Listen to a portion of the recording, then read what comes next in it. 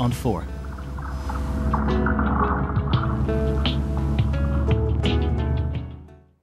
Do you know what that is? That's the microphone that picks up the sound. Is that right? Mm-hmm, that's right. David can see you through that, but he's also got a thing. Can you show? Can you Yeah, twist it? Can you screen. see? This was the first time I filmed Pamela Edwards. Is it? Does it bother you? I like it. I thought you would. Valerie thought you'd like it. I'm I'm on the camera. That's made you very excited. Pamela has multiple personality disorder. It's an image of you. You are real, and that is you really on a film. It's a real image of you,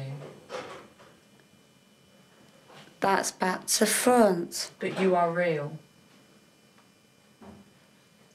You want to look through? What can you see?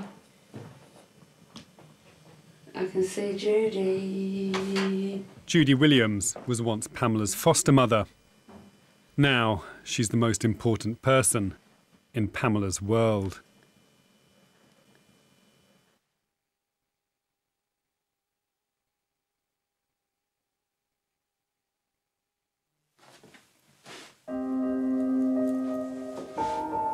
I've spent two years in Pamela's world, a place where reality can become blurred.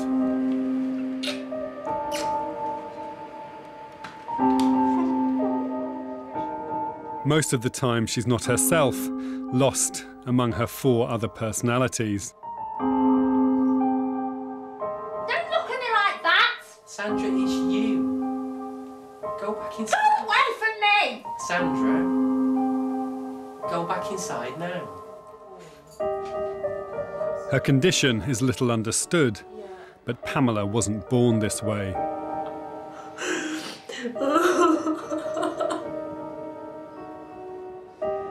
Pamela is a puzzle.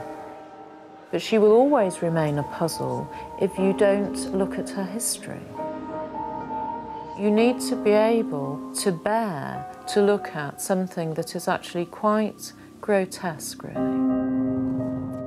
Pamela Edwards, Honey Bunch. Nobody will do anything to hurt you. Nothing will go wrong. Nothing will go bad. Nothing.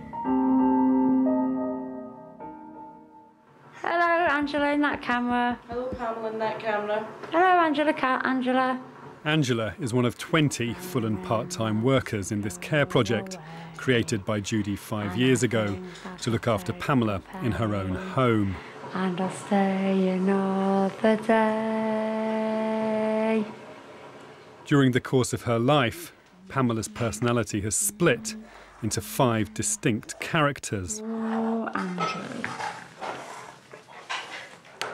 Can you see the dolls? Yeah, why have you arranged them like that? Because this is the internal characters, and that's Andrew, that's Margaret, that's Susan, and that's Sandra, and that's Pamela. Andrew, Margaret, Susan, and Sandra are as real to Pamela as everybody else is. That's Greece. Right. Which part of Greece is that? Don't look at yourself. Don't sit over there, please, because you're looking at yourself in reflection. At times, it's not clear who Pamela's talking to or whether it's one of her characters speaking. That's Pamela, and that's Pamela, and that's Pamela, and that's Pamela, and that's Judy. You're cameraing this as I'm looking with my eyes. Mm-hmm. It's Pamela's smile on her face. Pamela's used her personalities to create an internal family who interact with each other.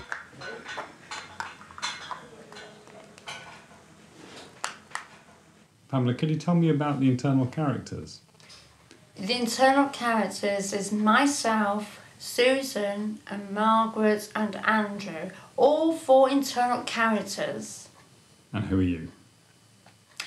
I was born Sandra when I was when I was with my parents when I was when I was a baby. I've got a son, which is Andrew, because he's a child, because he's a little boy, and he's a brother. So is Andrew Sandra's son? My son is called Andrew. And you're Sandra? Yeah. Right. Andrew doesn't seem to talk very much. I think he's shy, Is that why? probably. And what about Susan? I don't know, she's okay. She doesn't seem to talk that much, but she sounds. I know I, I talk that, of course I talk that much. Of course I do. I'm Susan Edwards, Sandra's sister. Okay, alright. I know it's difficult. and I know it must be hard for you. So is Susan Sandra's sister? Yeah, And Andrew is Sandra's son? yeah. And my mummy. Right.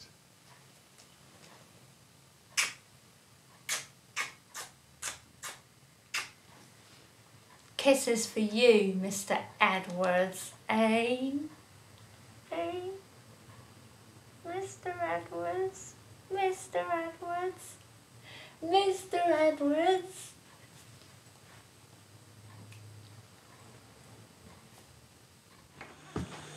Pamela's learning disabled, so even when she's herself, life can be a challenge.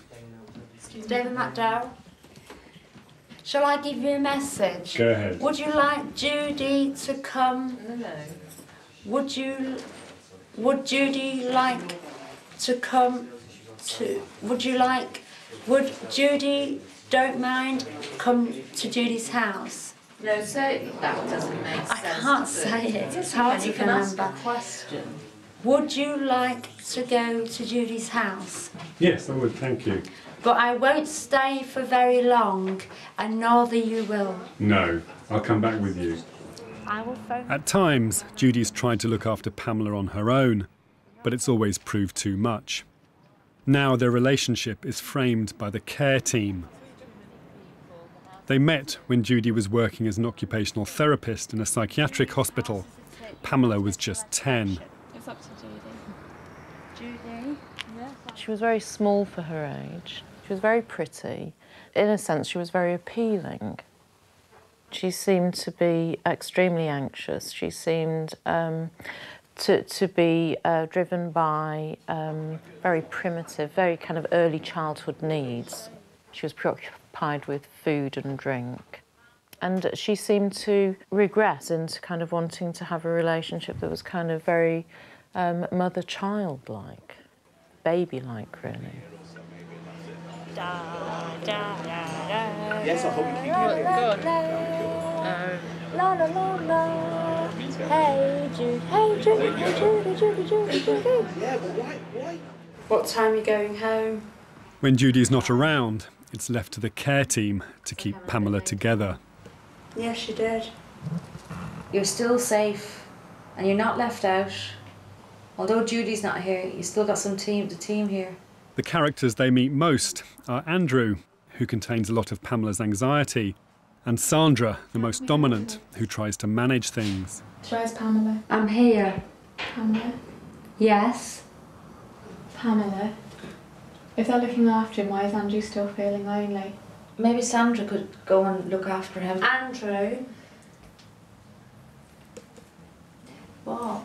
Do you know what? You, I, I think you're really lonely, like Pamela is.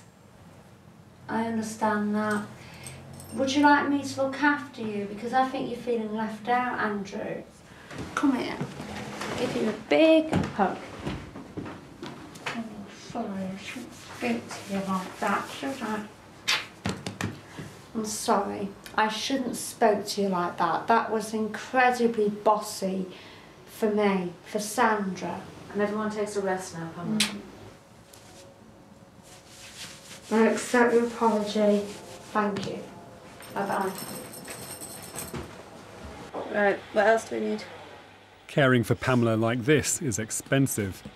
It costs St Helens Social Services and the local health trust almost £500,000 a year, at least twice the cost of keeping her in an institution.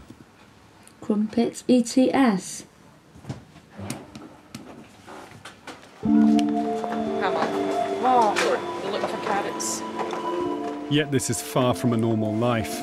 In this unique care project, Pamela spends every moment in the company of two or three carers, helping her negotiate her way in the real world. We just want to get this? Do we get this? Which one do you want? Toilet roll for the bathroom. One more thing and then we're finished and then we're done. At times of stress, Pamela's internal people can become dangerously dominant.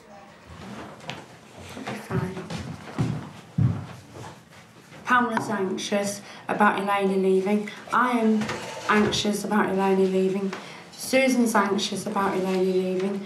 Andrew's anxious about Elena leaving. Margaret's anxious about Elena leaving.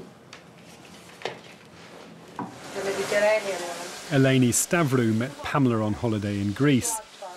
They became so close that she came to join the care team, but now she's going back home.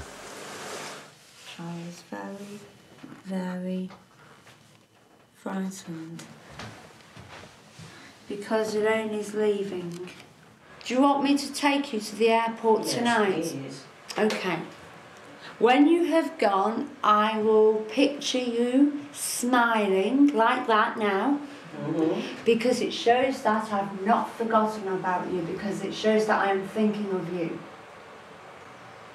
I will think. I will be thinking of you as well. I'll be thinking of you first. All right then.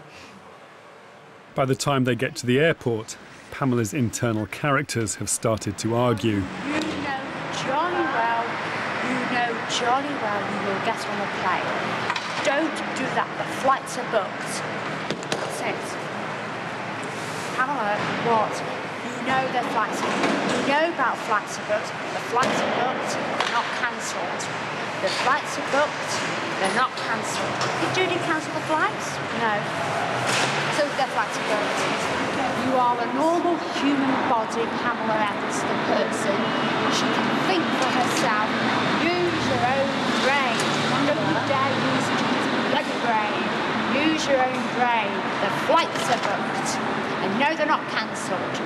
No, they're not cancelled. Pamela, all the internal characters need to stop now because this is not a safe way in a public place in an airport. And just try to hang on. Can you manage to do that? Good girl.